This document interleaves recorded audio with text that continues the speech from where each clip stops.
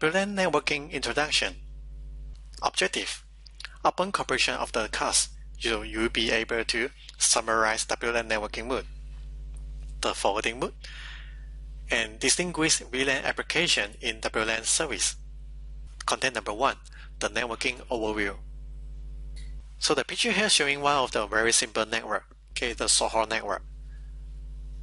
The AP Okay, this one might be one of the FAT AP, so it doesn't require any controller. So this FAT AP might connect to the ADSL modem and including our PC. We can plug in the LAN cable to this AP to form the LAN connection. So enterprise networking mode. They're using the aggregation switch, access switch, and also many of the FAT, uh, FAT AP. So this is a FAT AP, it's not a FIT AP. So because you notice here, they have no access control access. So when they have so many FAT AP deployed in the enterprise networking, so they will have a lot of the overload. When you want to do the troubleshooting or you want to changing the VLAN and the SSID, so you might facing some problem to do uh, do the troubleshoot. So this is the reason why we need to have FIT AP. So the networking mode classify based on the network architecture between AP and controller, layer 2 networking or the layer 3 networking. The classification based on the location, inline networking and the bypass networking. So I believe the bypass networking will be the most common use for uh, the office building network.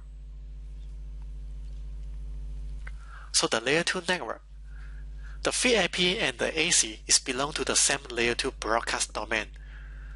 Um, the AC here and the AP, they might connect through the same VLAN. So we call it as the layer 2 network. For the layer 3,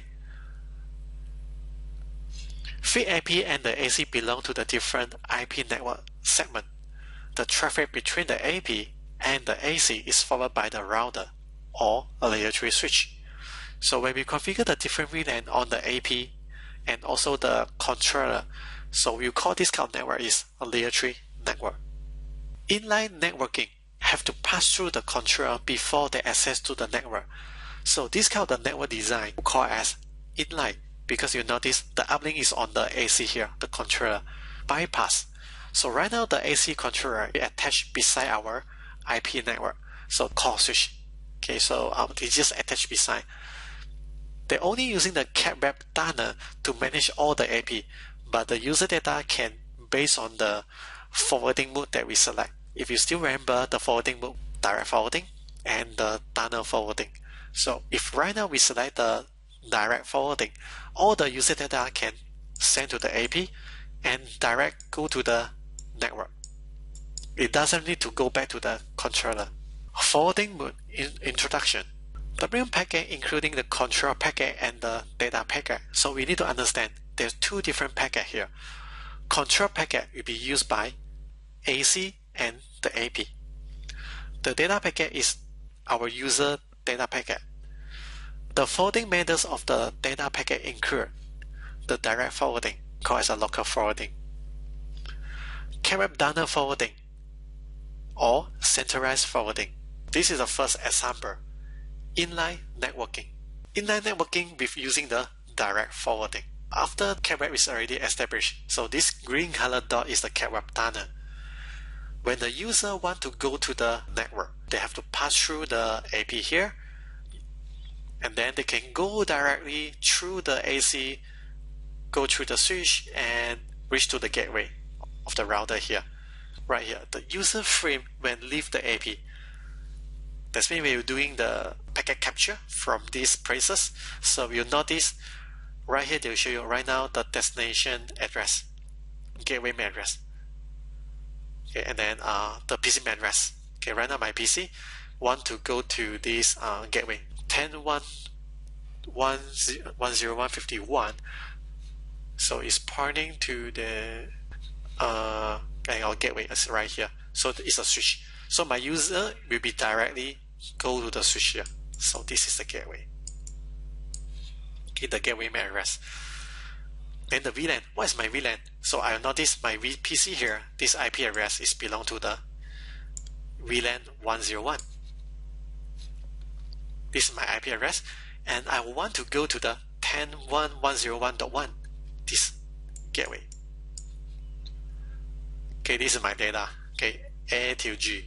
In the tunnel forwarding mode, the process still the same. The only difference is the user data right now is using the CAPWAP tunnel. So all the user data have to go into the tunnel first. So right here, they're actually inside the tunnel.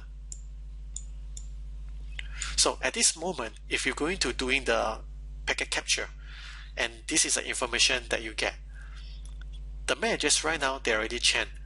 They will show you. Right now, the connection is, uh, this is my source address and my AP. This one, the source address. The destination address will be my controller. Okay, because this one is need to deform the CAPWAP tunnel. You require that. So the dot one Q is nothing here. And then the source IP address. Right now will be the IP of the AP. Destination will be my controller. My controller is this 10.1.101.100. Everything is in the CAPWAP user data. It's already encrypted. So that's why you can't able to tell what's the information here in the CAPWAP. Bypass networking. The AC is actually attached beside the switch. Just now the inline mode, you see no difference in between the direct forwarding or maybe the tunnel forwarding. The only difference you notice there is just the source MAC address and also the IP address is different. In the direct forwarding, they have a big changes. When we configure in the direct forwarding, the user data will be able to send directly to the gateway without returning back to the controller when you're doing the packet capture on this area, you'll notice right now my gateway is directly point to my core switch. Okay, this is my PC MAC address, and I check what is my VLAN that I'm currently using. PC MAC address here, and I will want to go to the core switch. This is my switch address, the gateway. So they can go directly. So the data forwarding, you're going to force all the user data Okay, this is the user data. They're running the okay running inside the CAPWAP tunnel. All the user data have to enter into this CAPWAP tunnel, return back to the controller, and let the controller help to forward to the gateway. When you capture on these places, what you can see is this information, the switch MAC address, AP MAC address. And then the source IP will be the AP IP address, and they try to go to the control here. Okay, the information will be different. Management packet must be transmitted over tunnel, and the service data packet can be transmitted over tunnel or direct. So all the management packet using by the AP or the controller had to using the tunnel.